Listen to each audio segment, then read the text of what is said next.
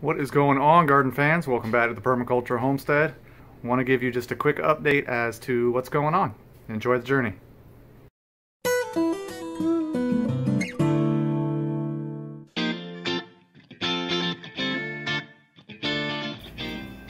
Collards we planted are ready to go out and going out today before our first frost. It's been very quiet without the chickens here lately. Still a little sad and butthurt about all that, but what I need to do here this winter is secure this chicken coop a little bit better and we will probably start again in the spring.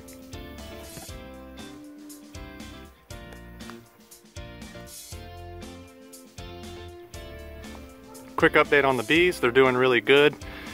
It was about this time the past two years that my hives had either died or swarmed on me. Uh, this year, they're as strong as ever. I've treated for varroa mites last month, took out the strips today. I reduced the size of the hive for winter. I saw my queen and everything is doing good with the bees. So crossing my fingers and hopefully we can get a hive through the winter this year. I wanted to quickly show you the hive beetle traps that have been in the beehive since spring. They've caught quite a few beetles and I've replaced them here today. So I have two of these in my beehive right now and they did really good, for me at least, uh, keeping the hive beetles at bay. Hey there, Phineas.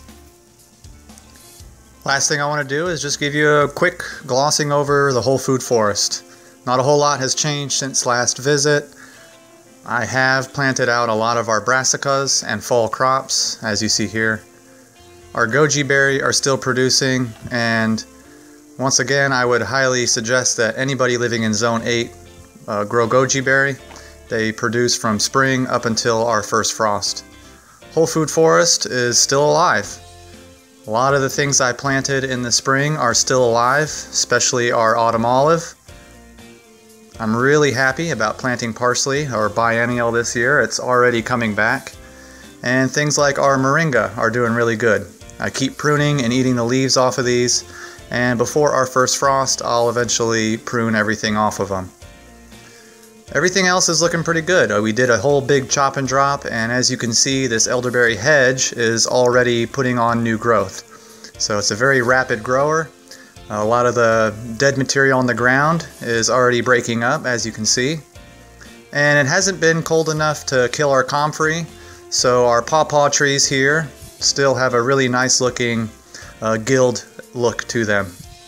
But overall, garden fans, the whole food forest is winding down here for the uh, fall and summer. And what I'm going to be doing during the winter is just preparing for a whole another year of gardening and food forestry.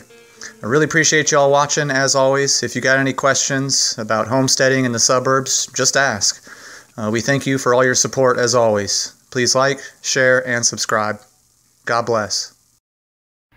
So far, we're so good today. I've reduced the size of the hive. Oh shit.